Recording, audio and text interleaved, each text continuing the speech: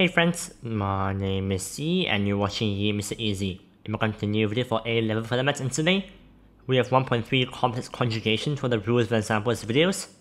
And we'll get started with complex conjugate, but before we get into it, don't forget to leave a like, subscribe, and ring the notification bell so you don't miss on any future videos. And we'll get started with complex conjugate. So the complex conjugate of a complex number is a number with an equal real part and an imaginary part with equal in magnitude but opposite in sign. So what I mean is that suppose that the complex number is z, uh, z equals a plus bi, then the complex conjugate, which is denoted as z asterisk right here, is equal to a minus bi. So you can see that the real part is the same of a and a, but the imaginary part is uh, the opposite in sign. So one is plus and one is minus, like one is minus and one is plus. And together z and z asterisk, or like the, uh, the conjugate of z, are called a complex conjugate pair. So basically to get from a complex number to its conjugate, we switch the sign before the imaginary part of the, of the complex number.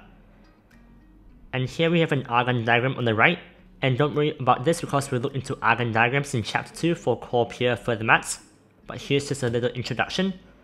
So the Argand diagram shows the real axis and the imaginary axis where it's basically an x and y plane. So here we have z, right? z is x plus iy. So x is here and y is here. The complex conjugate is x minus uh, iy, right? And as you can see, the i is the same, but the y is opposite. So it's basically a reflection in the in the uh, in the real axis right here. So here we have conjugate surds versus complex conjugates. So conjugate surds is that suppose that x equals 3 plus root 2 and x uh, the conjugate of x equals 3 minus root 2. Then the values x plus x uh, x conjugate is equal to 6, right? Because the, the surds cancels out. And x times the conjugate of x is equal to 7. Because as you can see, 3 times 3 and 2 and times by minus root 2 becomes 9 minus 2 equals 7. And similarly for complex conjugates, suppose that z equals 3 plus 2i and the, complex, the conjugate of z equals 3 minus 2i. Then the values z plus z as a conjugate of z is equal to 6 because the imaginary part cancels out. So you just plus the, the real part. And z times the conjugate of z equals 13.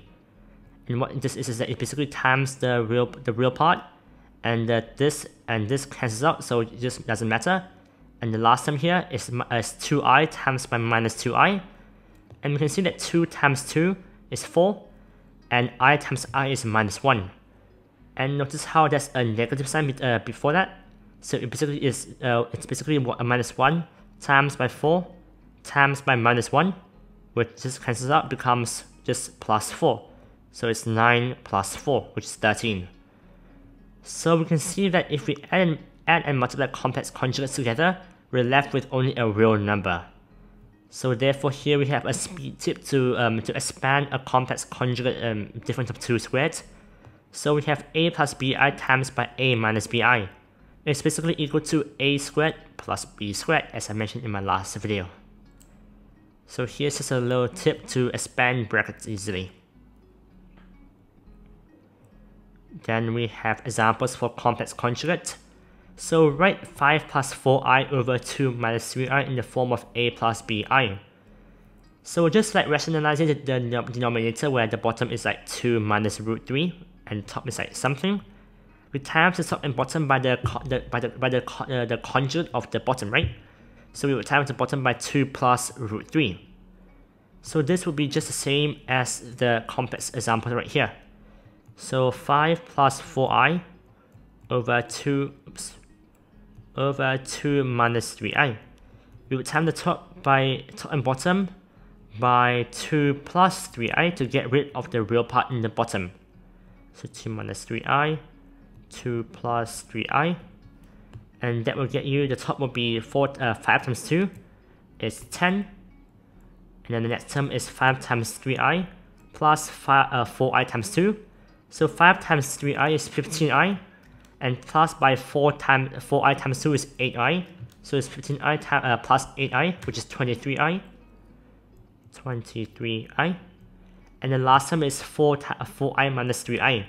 4 times 3 is 12, but i times i is minus 1, so it's equal to minus 12. And the bottom is basically we can use a speed tip. So 2 minus 3i times 2 plus 3i. It'll be a squared plus b squared, which is 2 squared, 2 squared, plus 3 squared, and 2 squared is 4, and 3 squared is 9, so 9 plus 4 is 13. Like so. So we can now basically just, just simplify the term and collect real and imaginary parts to get 10 minus 12 is minus 2, so be minus 2 over 13 plus 23 over 13 i, and that's the answer for that. So we have question 2. Given that z1 equals 3 plus 2i and z2 equals 12 minus 5i over z1, find z2. So it's basically the same, but we have to substitute some values. So z2 equals 12 minus 5i over z1, which is 3 plus 2i. So we just multiply the top and bottom by 3 minus 2i, so 3 3 plus 2i. So 12 minus 5i times by 3 minus 2i over 3 plus 2i uh, times by 3 minus 2i. Like so. So the top we can just simplify, we can just uh, expand it right now. So 12, 12 times 3 is minus 36. And the second and third term will be imaginary. So 12 times minus 2 is minus 24. And minus 5i times 3 is minus 15. So this should be minus 2i. I just keep missing the i. But uh, the third term will be minus 5i times by 3, which is minus 15i. So minus 5 times 3. So we can just add the minus, uh, the minus 36 and the minus 15 to get minus 39i. So minus 39i. And the last term will be minus 5i times by minus 2i. So minus 5 times minus, minus 2 is, uh, is 10, just plus 10. But minus but i times i is minus. Therefore it just be minus, uh, plus 10 times minus 1, which is equal to minus 10. And the bottom we can just use the speed tip so a squared, a is uh, 3, so it's 3 squared plus um, 2 squared. So 3 squared is 9, and 2 squared is 4. Therefore, we can just do 3 squared plus 9 plus 4, which is 13 as shown above.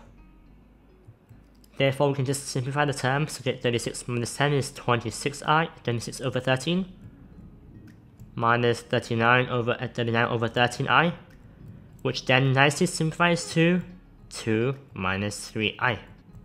And that's the final answer. And that's it for this rules and examples video for 1.3 for complex conjugation or complex conjugate. And I hope you'll find it useful and helpful and if you did, please leave a like and subscribe and ring the notification bell so you don't miss any future videos. And if you have any comments or constructive feedback about my channel or my YouTube or my Instagram, you can comment down below and I'll reply to them. And check my social media in the description for example LinkedIn or YouTube or Instagram. And if you need any learning resources or any teaching resources, you can check my website in the description or you can open it on your browser www.yimakesiteasy.com. And I hope you find it useful and helpful and I'll see you on the next video which will be questions for 1.3 complex conjugation, which will be very interesting. But until then, stay safe and happy learning.